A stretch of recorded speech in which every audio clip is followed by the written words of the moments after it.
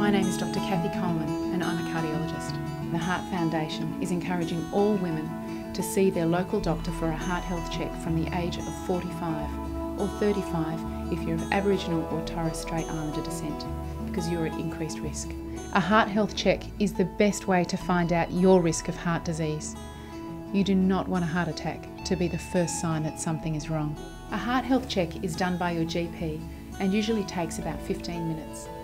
They'll speak to you about any symptoms of heart disease, your family history, smoking, your weight, your diet, and how physically active you are. They'll take your blood pressure and send you for blood and urine tests looking for high cholesterol, high blood sugars, or kidney disease. It's important to be honest with your GP. If you think it's important, tell your doctor. Heart disease is the number one killer of Australian women. It kills three times as many women as breast cancer.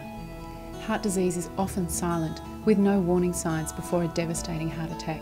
Half of the people who have a heart attack die before they get to hospital. This is why you need to find out if you're at risk. 90% of Australian women have at least one risk factor for heart disease, and over half have two or more. You can be fit and active and well with a healthy weight and no symptoms, and still be at risk of heart disease from high cholesterol or high blood pressure due to genetic factors totally out of your control. Having information about your own heart health gives you the power to make the changes that you need to.